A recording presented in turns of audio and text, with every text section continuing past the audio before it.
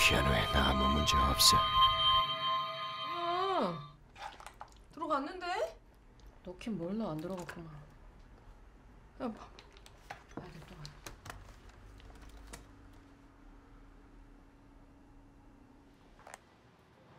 아, 저는 사실 인디스페이스에 오는 게 약간 특별하게 느껴지는 이유가 사실 대중적으로 인기 있거나 어떤 아 보고 싶다라는 느낌이 들기보다는 뭔가 어렵거나. 친구들.